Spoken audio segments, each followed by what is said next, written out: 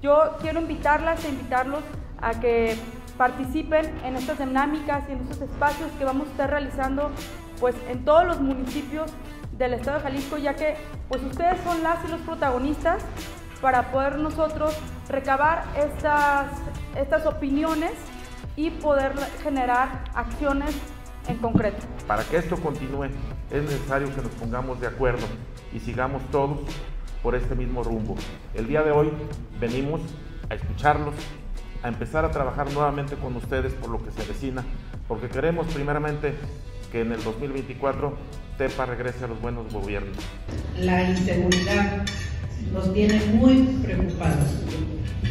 muy preocupados. Una de las situaciones que hemos encontrado siempre, por muchos años atrás, en lo que es la vinculación del sector público y privado,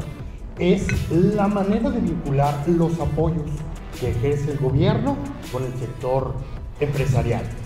Si a partir de la sociedad tomamos las decisiones correctas, si a partir de ustedes y nosotros sabemos escuchar correctamente con hechos qué es lo que está sucediendo, nos organizamos para que eso de plano no suceda. Eh, fomentando la educación y facilitando, facilitando a las empresas capacitación para los empleados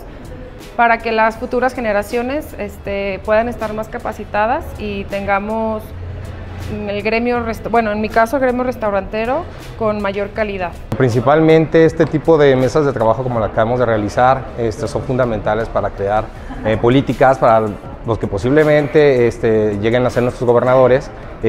crear sobre todo que sean eh, gobiernos facilitadores como empresarios, nosotros lo que necesitamos